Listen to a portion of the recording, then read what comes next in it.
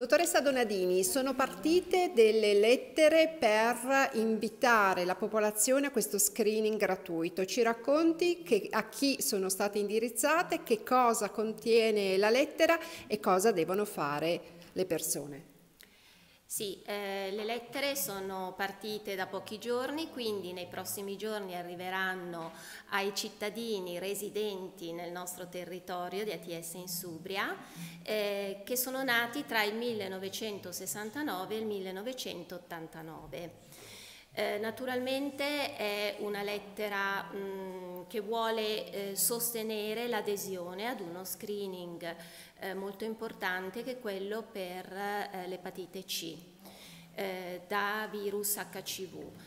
È una patologia eh, diffusa e in questa fascia di età soprattutto è presente molto spesso in modo silente, quindi non diagnosticata e non conosciuta dal paziente. Pertanto eh, è importante aderire a questa iniziativa, ci si reca presso uno dei punti prelievi aderenti eh, allo screening e sono reperibili sul sito di ATS in Subria nella pagina dedicata.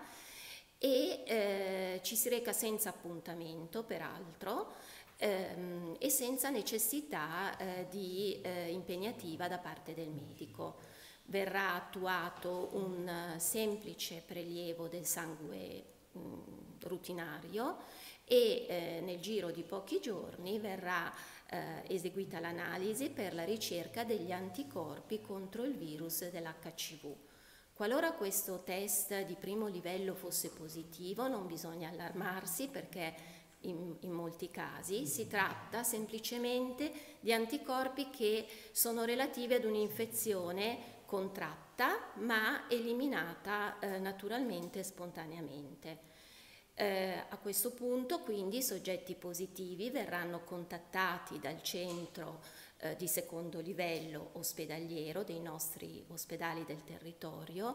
eh, quindi da specialisti infettivo, di malattie infettive e eh, gastroenterologi e patologi, che procederanno ad un secondo test più specifico, che è il test eh, RNA per l'HCV,